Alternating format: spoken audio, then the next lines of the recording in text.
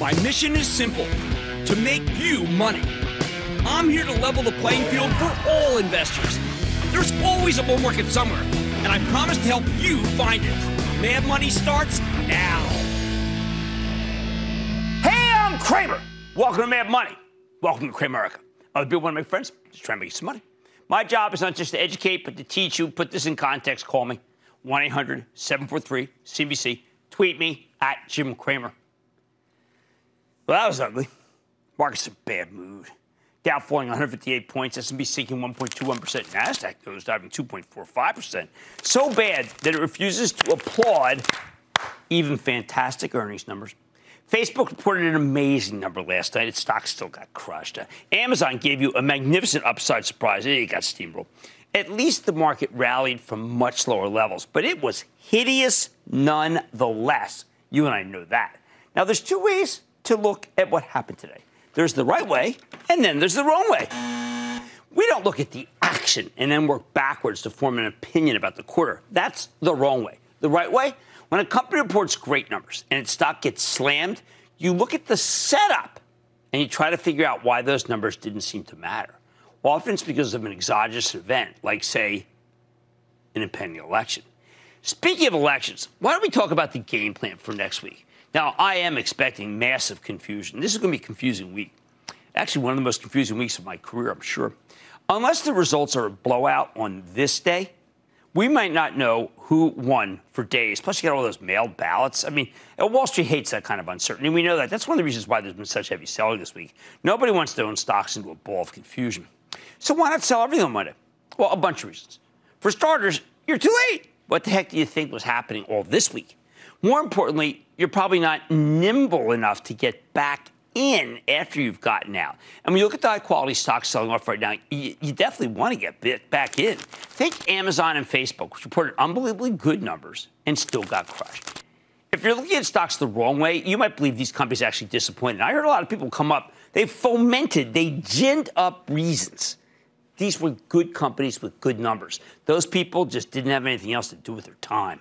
The weakness today was all about the overall market, not what Facebook said or did. It, it, can take down anything when it's in a bad mood, including companies that sounded a little cautious about the future in the middle of a pandemic. There's no Xanax for a, for a market. You know, you, there's no Klonopin, okay? There's no Clozaril. There's no. Apple got hammered too, even though CEO Tim Cook made it clear to me that iPhone 12 sales are looking pretty good in the current quarter. I mean, I know some of some of you think that when a CEO tells you that sales look good, he's not to be trusted. Again, absolutely wrong. You're getting the perfect buying opportunity in Apple and Amazon and Facebook right now. Don't do it all at once. I recommend picking up some here, and then you wait till after the election to buy more. Oh, and memo to people who said I buried them in Apple. I got that. I must be an Apple undertaker. I've been burying people in Apple since the stock was at $5. It closed at 108. I am sorry I buried you. More importantly, though, I don't think you're we're actually clever enough to game this, okay? I suspect that the stock market will react best to a Trump victory, in part because Biden wants to roll back most of Trump's tax cuts. On the other hand, if we get an overwhelming win by Biden, I think stocks will give you a dip and then move up in anticipating of a gigantic stimulus package. The real risk, though, is that we'll spend next week stuck in purgatory, where it's too close to call the whole thing ends up being fought in the courts. And by the way, let's hope it's only fought in the courts. Now, we don't know the outcome. So here's my advice. I think you buy a little on Monday uh, when the market no doubt revisits today's lows. You take a break on election day, and then you buy some more on Wednesday if Biden wins, especially if it's close and Trump doesn't concede. That's going to be an ugly day. Then you wait until the unemployment number on Friday to buy a third tranche of stock. Worst case, you buy some stocks on Monday, and there's no ball confusion, and well, you'll at least have gotten a third of your money into the stock market. So, uh, what can you buy next week aside from Apple, Amazon, Facebook, all of which are on course for a, a big next quarter, even though they didn't explicitly, explicitly, say it? Like anyone would say it in the era of COVID. Hey, guys, it looks great. Uh, who knows? Now, from earlier this week, I think you can throw in Microsoft. They, they really had They probably the best quarter of all, but it was caught in the tsunami of pre-election selling, and people just made up reasons why that company was doing well when it's doing great. All right, so what are some other stocks where the companies are doing well, but people are going to make up lies about why their stocks went down? Well, we're going to hear some lies about Estee Lauder and from Clorox. Now, both these companies are thriving. The CEO of Estee Lauder, Fabrizio Freda, has built up a huge business in China. There have been more sales put on this stock, and it's just annihilated everybody who said short it because business is hot, hot, hot. Meanwhile, his skincare business, okay, his skincare business is terrific. Why? It's booming because of what masks do to your face. If you take away nothing else from the show, would you at least remember to moisturize?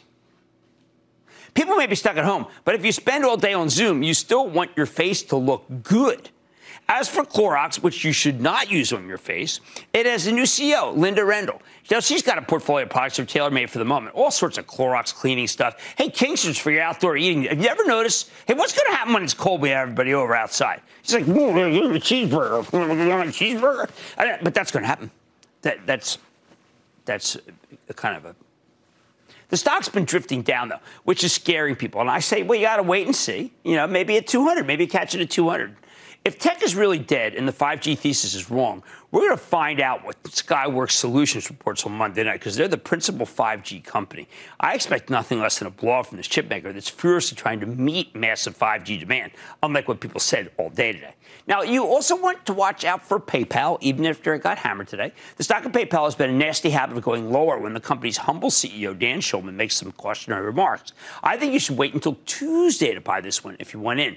And you should, well, you should want in because PayPal's the best financial technology play around. Other than that, though, I wouldn't do any buying on Tuesday unless the market really gets hammered by indecision. Again, traders have pathological hatred of uncertainty, so just wait a day. Now, while we wait, we're going to be listening to Humana in the morning. Lots of people will sell this one if Biden wins, betting that the Democrats will declare war on private insurance. I say that'd be incredible buying opportunity. It is eh, after every critical election where we fear that the Democrats are going to do that. I also want to be watching Emerson and Eaton, two big industrials, see what they have to say about their end markets. Now, on a normal election day, Tuesday night would mark the end of the uncertainty, but these are not normal times. There's a good chance we still won't know the winner, even Wednesday and maybe the rest of the week. But so you have to leave more room to buy when you get the dips from people who are fearful. Wednesday night we hear from Qualcomm. That's another great 5G oriented semiconductor company.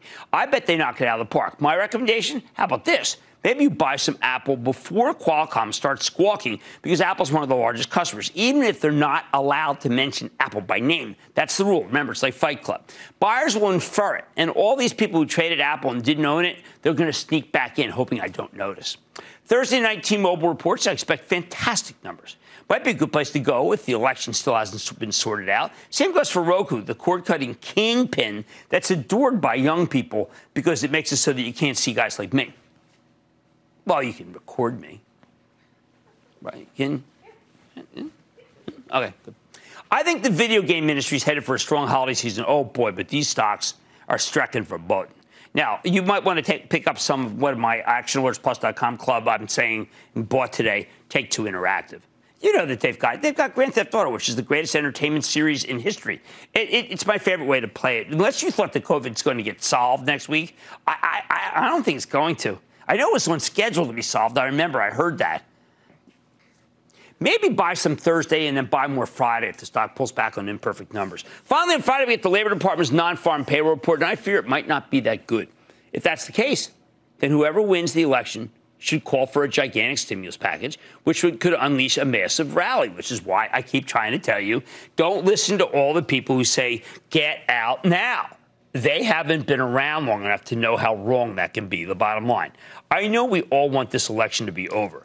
So steel yourself for a messy, confusing outcome, leading to some messy, confusing action in the stock market, where therefore opportunities will abound. Let's go to Steve in New Jersey. Steve. Hello, Jim. Thank you for all your help. Quite welcome. Uh, yeah, I'm a relatively new investor. I've always been doing individual stocks uh, since past March. Uh, my question is about Super Microcomputer, SMCI. Right. No, man, you know, I, I got to tell you, look, okay company, but we got companies like AMD and NVIDIA. You got to step up to the plate and buy the real good ones. Uh, I would buy one fractional share of NVIDIA Okay, we had uh, we had uh, Anthony Noto one the other day. He runs SoFi. They got fractional shares. Buy a fractional share of Nvidia. That's the way to go. Hey, why don't we go to Gerard in Illinois? Gerard. Yeah. Hey, how you doing, there, uh, Jim Cramer? Uh, man, I I've been watching your show for over 20 years, and uh, uh, Amarin was featured one day. Uh, do you think it's possible we could get the CEO on the line? Uh, one yes. of these days. Uh, Absolutely, you know, because we got to find out what the heck happened to that bad boy. Wow. They really just crushed the heck out of that thing. Well, a little disappointment goes pretty far. We're going to get him back on. Why not? Find out what the what someone pulled the rug out of eh, Amarin. I remember that kind of failed trial there. We'll be back on that. Oh, let's go to Roger in Michigan. Roger. Hey, how you doing, Jim? Booyah! Booyah! Hey, first off, I got to let you know, first time caller. I just started investing here in March. I want to thank you and all that great staff over there for all your sage advice, all your knowledge you're dropping for all of us Americans here just trying to make some money. Thanks Steve a lot. Steve is fabulous. It's why we come to work every day. We uh, have each other's back. It's pretty amazing. Let's make some That's money great, together. Man. Well, you know what? I got a serious question to ask real quick. Okay. Can we get a little consistency from Carson Wentz, please? Our draft started quarterback. Oh no, no, I checked. I was there. I, I checked with them. I checked with the franchise, the Eagles franchise, three times this uh, this week, and it's Wentz's night. And Sunday night is when I'm, I'm more involved with that than I am with this. Wednesday night well, is, you is, is no, no, Sunday night's his night. That. You don't have to worry about Wentz. He's going to roll right over Dallas. So let's make some money together while uh, Jerry Jones uh, fights among himself. well, I wanted to talk to you about a stock. It's actually a stock. It's a favorite of my three daughters. They love it. I buy so much of the product, but you know what? I never use it. I want to talk to you about Ulta. It's taken a dip, uh, taken a good hit this week. It's gotten a little bit of a bump today, but listen to me. Listen to me. Listen to me, Roger. I go home like every night and I take out my Ulta cleaning products to get rid of the ring of fire I have because of the mask, okay? And clean everything, put on my. Ulta is so. Mary Dillon is so good. That is a brick and mortar place that has reinvented the web. I want. I say you own that stock. Their products are fabulous. Their website is great. I'm not kidding, by the way. I have to worry about my skin. It's horrible. I've not had this much acne since I was 13. All right, look, the market's the market's in a bad mood, and I don't think it's over yet. I want you to brace yourself for some messy, confusing action, but that's where opportunity abounds. Mad Money tonight. Oil's on track for its second straight monthly drop, and crude prices down 11% just this week. So I'm talking with one of the top minds in the space to find out what's ahead for natural gas. Then Brunswick Corporation just announced a truly magnificent quarter, but the stock barely budged. What's that about? Get to the bottom for the CEO at 5.9 has nearly tripled from its March lows and moved behind it the whole way. After its picture perfect quarter, can the stock keep climbing? Uh, why don't we talk with the top brass? Stay with Cramer. Don't miss a second of Mad Money. Follow at Jim Cramer on Twitter. Have a question? Tweet Cramer. Hashtag mad tweets. Send Jim an email to madmoney at cnbc.com or give us a call at 1 800 743 CNBC. Miss something? Head to madmoney.cnbc.com. Shepard Smith here. Thanks for watching CNBC on YouTube.